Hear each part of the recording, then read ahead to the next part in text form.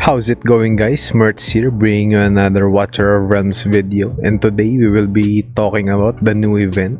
So first things first, let us calculate how much Rampage medals you can get for now because there's still an upcoming event, the Treasure Hunt Celebration. So the total is, we have 2, 4, 6, 8, 10 100 70 200 plus 369 60 150 so 350 in here. And then there's five of these. So that's 150 so 600 and 150 here. So 750 and we have some in the new event. So 5 plus 15 so 770 so we have 774 now that we can get. So after the reset we will get another 15 here. There's none here. There's a hundred here. So that's 870 and that's it. So on the 870 what do you prioritize? So for me the most important thing to buy here in the event shop is this one the legendary skill crystal. As you can see it's the most expensive one as it should be. This is the most important thing here so after buying this, you, you're left with 570 Rampage medals. So the next thing you want to buy here is the, of course, the summoning crystals. And then the Fabled Dice, which costs 60. So 570 minus 180 minus 60. So you are left with 330 so the next one. Is this one? The legendary skill dust. So that's 120 so you're left with 210 the next important thing here is this one. The epic skill crystals.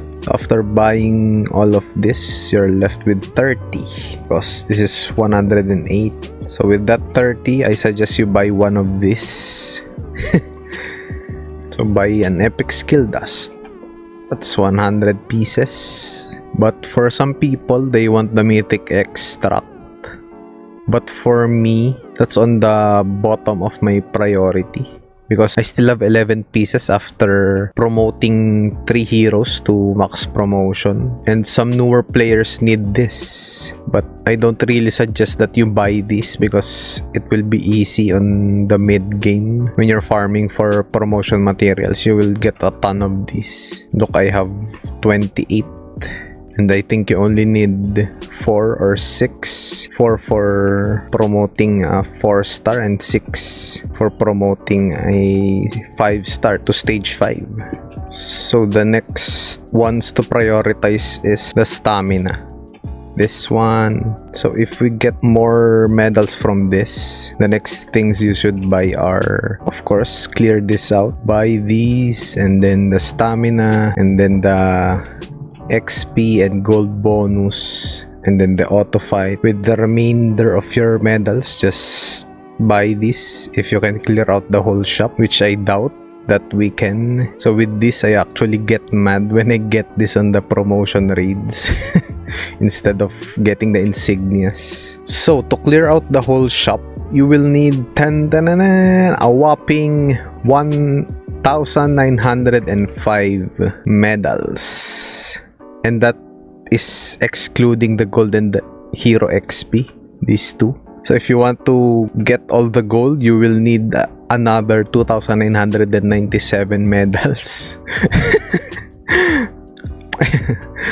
And if you want to get all the hero xp you will need another 1998 which is really bad if they don't give a ton in this treasure hunt celebration which opens in 10 days if you add all of this 1905 plus 2997 plus 1998 you need 6,900 medals. I doubt you will get 6,000 here. That's the computation of the redeem shop. So, my suggestion is just buy the legendary crystal and the summons and then the legendary skill dust and call it a day.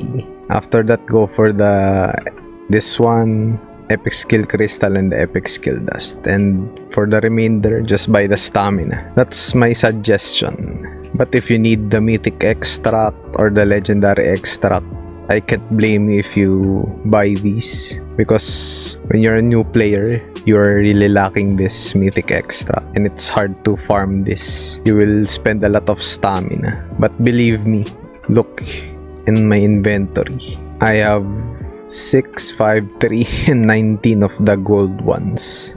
And I have 11 of these. So even if you pre-farm these ones, the gold ones, you will still have enough of the mythic X stock and not enough of the gold insignias. So enough of that. Let's go to the gameplay of this event, Odyssey of Dreams and Trials of Fury. Now for the Odyssey of Dreams, there's not much gameplay. You just roll a random number with the dice. You just tap this. So let me show you. So you just tap the dice and it will generate a random number and you will move according to that number that you rolled.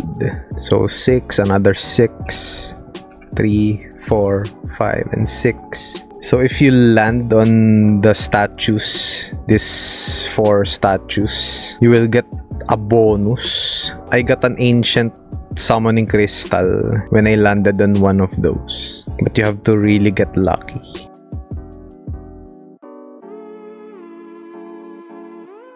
So that's the gameplay of the Odyssey of Dreams. So after moving 96 times so as you can see here, current step 63 out of 96. So if you finish this, if you move 96 times, you will get 10 legendary summon shards. I have 10, so that will be 20. And if I get 30, I will get a legendary summoning crystal. So I'm 10 away after I get this. And then 150 of the rampage medals. We take we took into account this one when we computed for the total you can get for now. And one summon. And that's it for the odyssey of dreams. Now for the trials of fury. In here i can easily do c5 so i started there and went down because of this first time rewards as you can see here, I got the first time rewards by doing it for the first time.